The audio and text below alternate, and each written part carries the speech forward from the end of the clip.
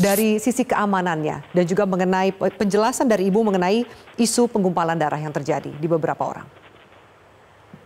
Ya, jadi uh, mengenai isu penggumpalan darah hingga kita tahu uh, sekitar tanggal 15-16 uh, Maret lalu ada beberapa negara, 10 atau 11 negara, terutama di Eropa, yang menghentikan atau menunda sementara pemberian vaksinasi dengan menggunakan vaksin AstraZeneca.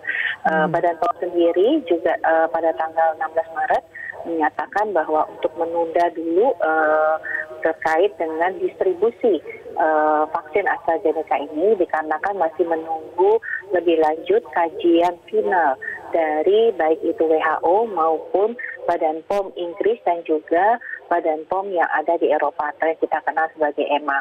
Nah, hari Kamis kemarin sudah uh, dilakukan pertemuan dan sudah diputuskan bahwa uh, kejadian daripada pembekuan darah yang terjadi sebagai akibat dari pasca penyuntikan dari AstraZeneca ini uh, tidak kasusnya masih dianggap bahwa uh, kasus ini merupakan kasus yang masih kecil dibandingkan dengan uh, kejadian yang ada di dalam masyarakat. Sehingga tentunya adanya uh, penggumpalan darah ini menjadi kehati-hatian kita.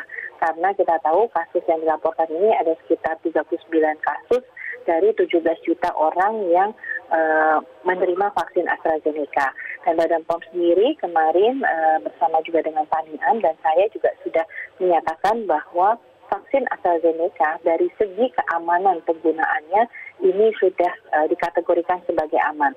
Kita tetap perlu berhati-hati terhadap adanya kejadian penggumpalan darah, tetapi kita tahu bahwa resiko terjadinya penggumpalan darah ini lebih kecil dibandingkan dengan uh, resiko kita menunda vaksinasi. Sehingga tentunya uh, hal seperti ini tetap menjadi pemantauan karena kita punya mekanisme yaitu mekanisme untuk memonitoring kejadian ikutan pasca imunisasi dan juga Badan POM juga memiliki mekanisme terkait peredaran vaksin setelah diberikan izin edarnya.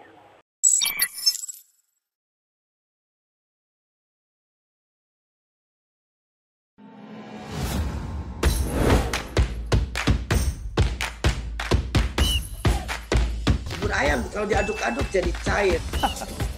Seriously, diaduk kayaknya ya.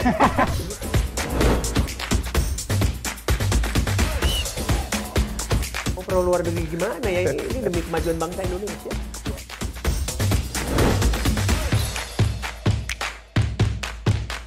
Isu kebangkitan uh, PKI ini uh, dihentikan.